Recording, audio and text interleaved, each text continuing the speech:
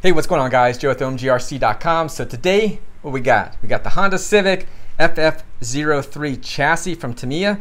And this is, again, this is the Honda Civic. This is a Castrol Honda Civic VTI. So this thing, which is nice about it, is you do get, you get stickers with it, okay? you get your sticker sheet to uh, mask off your windows on the inside of it. So when you go to paint on the inside, you don't paint your windows. So that's nice. Then you just peel this plastic film off of that when you're ready to uh, finish the project more or less. So we're gonna go ahead, I'll show you the other stickers. So this is the OEM, OEM style stickers here, which I'm probably gonna opt for because I like that more or less, not the race look, but the OEM and then uh, it's kind of like a sleeper, right? So we'll go with that. So we don't want to make it look all racy and then it, but um, yeah, I didn't really care for these stickers, all that stuff that's on there. It's a lot of cutting out, and I'm just not don't want all those stickers on the car. So uh, I know some of you guys are like, oh man, you should have made it look like the box art. Oh, you suck. So anyway, that's that. That's what I like. So if you want one of these, go ahead. I'll put a link down in the description below.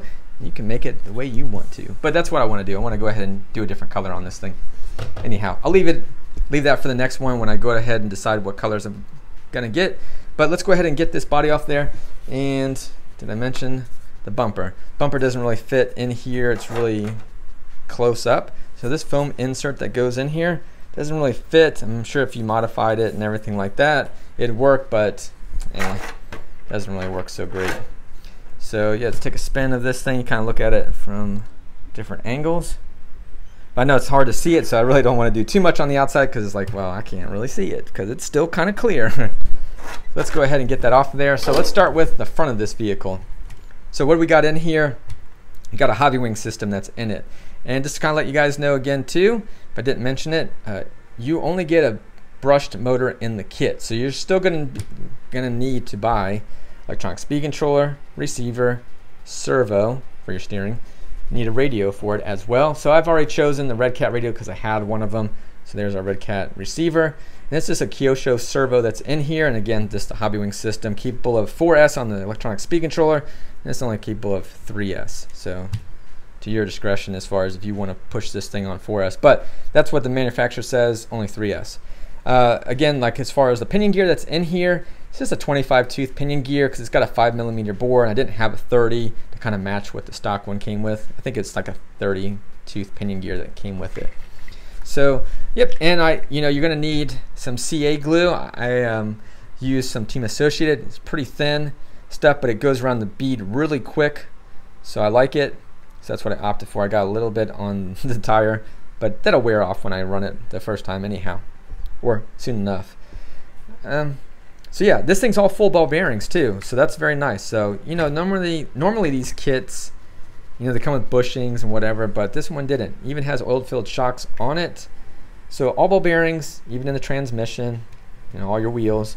The only thing that doesn't come with, which doesn't matter, is just uh, these parts here. I don't know what they're called, but uh, like that cantilever, whatever system. But um, it's got bushings in it. So, you know, the metal bushings. So that's that. And uh, yeah, we got a little on and off switch that's there. And one thing, let me flip this thing on its back. So I do like this. This is what holds the servo in. It's got this little adapter that sticks out further. Yeah, what happened to the other side where I can hold my electronic servo or my electronic speed controller in here? Like, to me, why didn't you just do that? Should have had one of these little extension plates, whatever, so I could put in, you know, I don't know, my electronic speed controller. Because there's really no real place. I mean, look at the edge of this thing. It's like there's hardly no space at all. Now, it's a decent size electronic speed controller, but it's still a max 10. Max 10 means it's for 10th scale vehicles, and that's what this is, a max 10. So, um, EZRun. So, yeah, it did, it's, you know, it is what it is on that part. I was trying to find other places, make a little adapter plate so it could the electronic speed controller would sit up higher. But anyway, that's that. Uh, speaking of right around this area too, is I went ahead and went with a Velcro strap just because they have a plastic strap that goes across here and it really limits you to what batteries you can choose. So I opted just to go ahead and use a Dremel and just made a little slit, a little extra slit. There's already like a little slit in there. So there's a channel so you can run your cable from one side of the chassis to the other and that way um, you know the battery wouldn't rub on it. So they give you a little aluminum foil that you stick on on this little railway, we'll call it, which just lifted off of there, which is not cool. So that didn't really stick very well. so that's that. Yeah, good piece of sticky stuff. All right, Th that's pretty much that on that one. And uh, this antenna. This antenna would normally be over on this side. And again, I just did it my own way, which I normally do. Is this, since this usually goes over here and it mounts onto the chassis, well, I didn't put the receiver over there. So went ahead and just uh, glued it to whatever this was supposed to have the receiver kind of tucked in here or whatever. I was like, no, I'm just going to put it on top of the servo. So I just glued this and then I just ran that. I just used a little CA glue. This because this piece is different, is separate from this kind of half um, convex, concave, however you want to look at it. Uh, little piece. So yeah, that's what I did, and uh, it all was, it's all good. So I like it. Anyway, appreciate you guys watching. Uh, leave a comment down below. Let me know what you think about this build. Anyhow, because it is front wheel drive, it's kind of interesting nonetheless. And but it's cool to kind of build these anyway. So I do like it and uh, let me know.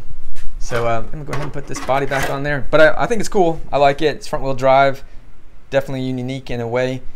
And uh, yeah, I'll catch you on the next video. I'll do a one. I'll show you guys like the complete finished with a running video of it here shortly once I get it painted. But yeah, appreciate you guys watching. Don't forget to like, comment, subscribe, share this with your friends. We'll catch you on the next video real soon. You guys take care. Thank you again for watching. Peace.